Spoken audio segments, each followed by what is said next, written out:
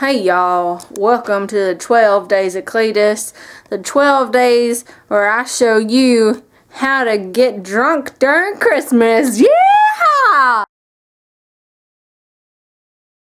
Today what I'm going to be showing y'all is how to make eggnog. Now we ain't getting that like fancy smancy eggnog. We're making our own. I'm showing you how I make eggnog every year and it's a real good recipe. Y'all need to write this down because I ain't got time to like type it in the little underbelly thing right underneath the video but yeah let me show you. We're gonna make some eggnog right now.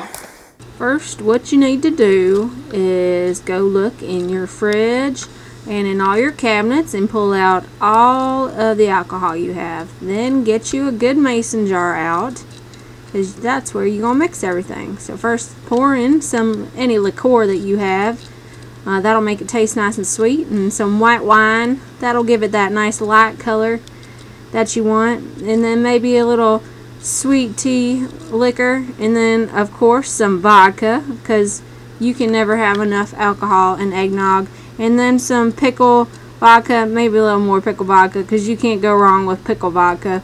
And then a little bit of Jaeger because you don't want to remember what you did tonight. And then you want to put a little bit of right wine, wet red wine in there. Keep your cheeks nice and rosy. Oh yeah, we doing good now. Next, the egg part of the eggnog. You gotta get a spoon out for this one because you gotta mix that egg up real good because you don't want to just like gobble down a whole yolk with your with all your shots in there. That ain't right. Mix you in some milk. That gives the the eggnog its creamy texture. Mix that up real good, and then you got some cinnamon there also. You're gonna put some cinnamon on top. That's gonna give it that nice Christmassy flavor, and then you go to drink it.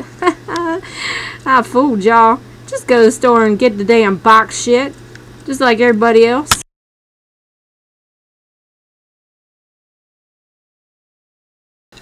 Asleep on the couch, got kicked out the bed.